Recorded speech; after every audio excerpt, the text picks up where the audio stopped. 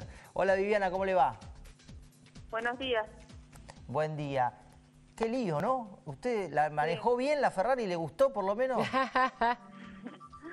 no, ni siquiera vi ayer las fotos.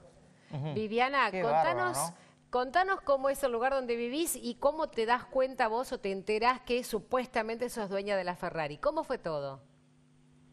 Eh, yo vivo en un pueblo que está pegado a la precordillera, estoy a tres kilómetros de Chile Chico, eh, es un pueblito que, está alejado de todo lo que es urbano.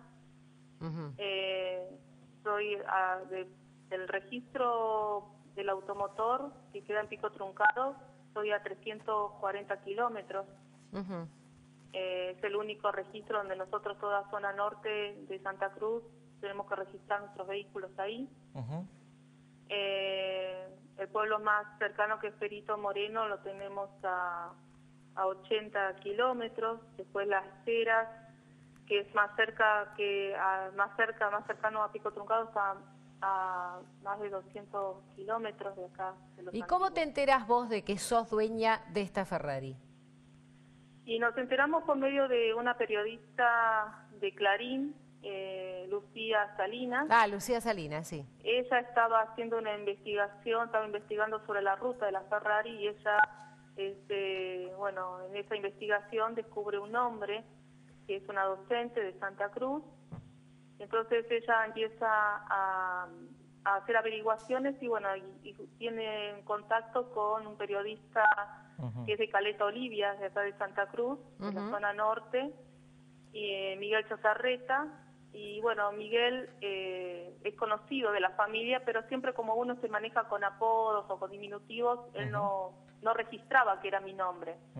Lo llama mi esposo, porque mi esposo también eh, escribe en varios multimedios, eh, para que si le podía averiguar quién era esa docente. Entonces le dice, si es docente, es fácil porque mi esposa es docente, así que la conocemos a todos los docentes.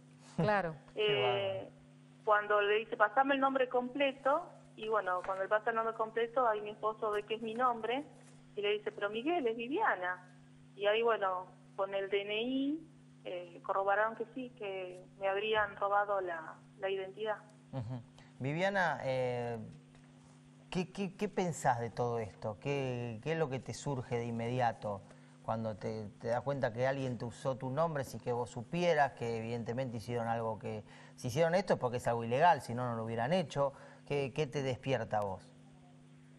Y me despierta varias cosas, porque en el sentido de que me siento que todos los argentinos somos estamos en una vulnerabilidad terrible respecto a, la seguridad de nuestras personas, eh, a nuestra privacidad, ¿no? Claro. Eh, entonces, eh, que cualquiera puede hacer cualquier cosa y está todo bien. y, lamentablemente ese es el mensaje que le estamos dando a nuestros jóvenes, ¿no? Claro. Viviana. Esa política social que está implementada hace bastante tiempo, se le está dando un mensaje negativo que es totalmente eh, opuesto a lo que uno hace en la escuela diario, ¿no? Claro, claro. Viviana, vos eh, fuiste a, contactar abogados para averiguar, digamos, cómo llega a estar a tu nombre o directamente te moviste vos, fuiste al registro y pediste los formularios que nos piden a cualquiera, ¿no? Cuando de pronto estás por adquirir un auto o venderlo, en donde está el historial de ese auto. ¿Te entregaron esta información? No, inmediatamente cuando nosotros eh, eh, teníamos esta información, le pedimos a Lucía que, que, no, no, lo saque a la luz todavía, que, que le dé tiempo a los abogados. Así que ahí nos pusimos en contacto con un estudio jurídico que, bueno, que en las eras, que uno de los abogados es amigo de nosotros, eh, a ver que haga averiguación, a ver qué pasa, ¿no? Y bueno, ahí eh, ellos eh, fueron varias, estuvieron un mes yendo y viniendo porque de la acera a Pico Truncado son un poco más de 80 kilómetros. Claro. Eh, siempre hubo excusas, siempre que el fin de semana largo, que Semana Santa, que el feriado puente, que mm. bueno. Claro, que eso, que es una información el formulario 02. Y bueno, hasta ahora eh, siempre se manejaron con excusas. Claro. Lo que ahora los abogados, entre hoy y mañana, ya hacen carta documento e intimación, ¿no? Eh, para poder ya, bueno, poder acceder a eso porque saben que ahí estuvo registrada, todo lo... Eh, habría estado ahí registrada y Claro. eh, con toda mi con, con falsificación y todo lo que hacia lo todo lo que es mi persona, ¿no? Viviana, ¿y te da miedo que ahora aparezcas, yo qué sé, siendo dueña de una mansión, la semana que viene siendo dueña de un avión, la otra semana siendo, porque te- y, te- y averiguaste con un abogado si puedes tener algún problema? Vos viste que hoy cualquier cosa que queda en tu- como antecedente, un día pareces como que fuiste la dueña de la Ferrari. Uno, una persona que no sabe que esto no fue así, que esto era mentira, tenés que seguir con algo legal ahora, a partir de ahora en adelante, le preguntaste a un abogado. Y sí, si esto- porque se, eh, lo que a mí me- más me llama la atención es que la FIP no me haya notificado, ¿no? Claro. Porque yo cuando vendí una Meriva tuve que hacer tantos papeles y cuando compré el cero kilómetro que es un Aveo, Sí, yo te escuchaba ayer Eh, decir esto. Que eh, tuve que hacer muchos papeles, ¿no? Y justificar de dónde saqué el dinero, que si era un préstamo, que si era... Y además, en mi sueldo, eh, durante un tiempo, durante tiempo largo, ¿no? Eh, porque yo en realidad no estoy casada, o sea que yo figuro como soltera, en, la- en los impuestos a las ganancias me están quitando de mi sueldo. Pero claro. Entonces, entonces, cuando yo digo, pero ¿cómo puede ser que no me hayan pedido, ¿no es cierto?, que, a ver, eh, ¿cómo hice yo para tener tanta cantidad de dinero si, si ellos tienen toda la información, si uno Claro. cuando va al supermercado... Las cuentas no te dan, ¿no? Claro, porque uno cuando va al supermercado, si uno gasta más de mil pesos, también en el supermercado tenés que hacer declarar no sé cuántas cosas, hacer Claro, un papel sí, sí. también. Se ve que ahí en, eh, en- en donde vos estás y en Santa Cruz, Viana, no funciona muy bien lo que se llama el entrecruzamiento de datos. No, Tenemos oh. algún problema. Primero porque un registro de dominio tarda no más de 48 horas, con lo cual eh, cuando vos fuiste a pedir, digamos, todo el historial de la Ferrari, que todavía no te lo hayan dado, da que pensar porque además los registros automotor son privados, con lo cual acá también se va a saber en algún momento a quién pertenece si tiene algún tipo de, de- de vínculo con el poder. Y segundo, porque digamos, claramente tu sueldo y una Ferrari, como vos bien decís, no condice y la FIP no apareció. No, no, no. Bueno, si no, Viviana, escúchame lo que te voy a decir, que me parece que puede Sí. ser algo, que puede ser una salida laboral tuya. Yo te digo que ponete a aconsejar gente cómo hacer rendir la plata, porque si lograste comprarte una Ferrari con el sueldo de maestra, lo tuyo es heroico. Sí, no, eh, también eh, muchas ocasiones también nos tendrían que dar clase los políticos, cómo hacen también. Qué bárbaro. Bueno, ¿no? Cómo Viviana, hacen los políticos también para, para tener tantas cosas cuando nosotros trabajamos todos los días y. Totalmente. nos cuesta sobrevivir. absoluto. Gracias, Viviana, y esperemos, bueno, estate atenta y que no pase nada, así es, a ver si encima la ligás eh, con algún impuesto o algo que te cobren, eh, estate atenta. Sí, mientras tanto los abogados, bueno, voy a tener que pagar yo todas las Claro, cosas, eso también ¿no? te iba a decir. Qué Para. Bueno, pero- poder... Quizá tengas chance de hacer algún tipo de acción legal después, ¿no? A quien Sí, corresponda. pero, es- es- pero eso es tan lento acá en Santa Cruz, Claro. la justicia va en carreta. Claro. Y si no pedí la Ferrari, Claro, si si no total que es te la tuya. den, total.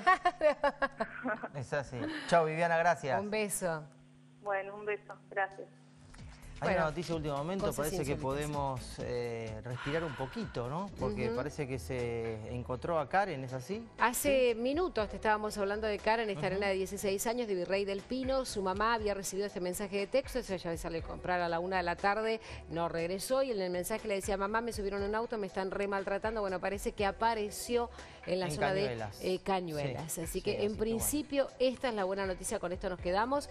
Después seguramente vamos a conocer más eh, detalles, vamos a ampliar la información, pero la buena noticia de la mañana, ¿no, Hernán? Creo que con esto de verdad estamos hechos por lo menos eh, en cuanto a lo informativo, de verdad que a mí me había generado seguramente como a muchos demasiada angustia, sobre todo pensar ese mensaje que había mandado a su mamá donde le decía, mamá, vení, me subieron a un auto, me están maltratando, no sé dónde estoy. 16 años, la verdad es que, eh, viste, uno está como muy sensibilizado con este tipo de cosas y enseguida puede pensar lo peor, por suerte no pasó Por acá, no apareció. Karen. Silvana, te voy a hacer una, una pregunta porque aprovecharte por lo que pasó recién. Si te pasa una cosa así como le pasó a Viviana Castillo, esto de los, a mí me dio lo de los abogados, claro, ella va a tener que pagar a los abogados, ella. Sí, Porque ahora lo a que tiene que que hacer a un abogados. seguimiento. Sí, acá hay que hacer un así yo te digo todo el, el tema. Ella tiene que hacer un seguimiento Sí. de lo que le puede pasar ahora. Claro. Porque ahora capaz que, esto lo está hablando con el registro automotor que habló, pero mañana cambian las autoridades y dice, y esta que tuvo una Ferrari, vuelta para atrás. Tiene que hacerte una, se tiene No, que pero, blindar para que esto eh, desaparezca, pero es digamos. que ella acá tiene que iniciar acciones eh, porque lo que, lo que Daños puede y perjuicios sería la figura, ¿cómo es? Sí, después va a tener que iniciar daños y perjuicios, pero antes de ocuparse del daños y perjuicios, lo que tiene que ocuparse es de eh, corroborar la información, que se rectifique esa información, porque si no, lo que vos decías del tema de los impuestos, va a tener que pagar patentes, va a tener eh, en AFIP, si ella no demuestra que eso no fue así, Como va tuvo tener la que Ferrari. cómo lo cómo la adquirió, Sí. por qué no, no, eh, uno hace una declaración jurada de bienes personales, entonces ahí tendría que haber estado. Claro. Entonces Es to- eh, es un todo, tiene es que una maraña, todo. es una Claro. maraña de Oh. posibilidad de multas. Porque imagínate lo que puede lo que puede pagar de, Claro. de multa por no, No, haber declarado 300.000 cualquier persona dólares. que no pa- que no declara un vehículo eh, Tiene lío, imagínate tiene problemas y tiene multas, las multas de la FIP son altas. ¿Qué tiene que hacer alguien que le pase algo parecido? Ir a un abogado, Sí, vos sabés que llamar esto- a estudio Alonso, estudio Sí. Silvana Sería Alonso, robo de identidad. gmail.com. Eso sería robo, eh, podría ser Perdón, robo de la- identidad. la Habría que ver si ella en algún momento también eh, perdió documentos y demás. Esto pasa mucho a Esto otro fue nivel. elegido, Esto es algo Silvana. puntual eh, porque la magnitud, la magnitud eh, es eh, evidentemente fue para eh, hacer un, un lavado de dinero y Absoluto. pensaron que esta persona Ah, nunca, nunca iba a caer, nunca iba a a darse cuenta o se iba a dar cuenta dentro de mucho pueblo tiempo. Eligieron un pueblo. al lado de la Claro, montaña. donde no hay registro automotor Claro, cerca, no es casual. eh, donde hay la población es chiquitita, Sí, que Santa no cambian Cruz, tanto que- de auto. Claro, entonces- Claramente deben tener absolutamente todos los, digamos, ahí se conoce todo el mundo, con lo cual deben Sí. tener vinculación con EPODA. Recordemos que el ASCAR es uno de los que atestiguó en el informe que hizo la Nata en el caso de Lázaro Báez por lavado de dinero. Sí, sí, O sea, sí. que está Pues todo Nada es casual en esta historia. Nada, en esta, en esta, en este caso puntual, eh, nada es casual y esta persona evidentemente fue elegida y todos sus antecedentes se sabían. Ahora, a- en niveles un poco más, eh, más mundanos, que, el más, que le puede ocurrir a cualquiera, pasa mucho el eh, robo de identidad para sacar eh, préstamos personales. Claro, Yo he visto hasta hipotecarios. sí, sí. He visto hipotecarios donde personas que eh, me venían a ver diciendo yo nunca eh, saqué este crédito hipotecario. No, una cosa ya no estamos hablando eh. de un crédito personal de 10 mil pesos o 20 mil pesos que quizás no te pidan demasiado o para sacar una tarjeta de crédito. Ahora, en esos casos hay una responsabilidad también del banco y, como ustedes decían, el daños y perjuicios. ¿no? Tiene que sí o sí, Sí. eh, consultar a un abogado cuando te pase cualquiera de estas cosas. Sí. Estudio silvanaalonso.gmail.com Exactamente. Hasta de memoria me lo sé ya. Muy bien. Tantos vamos a hablar- años, Hernán, Sí, ya. sí, ya son Tantos años. años. Hablando- Thank you.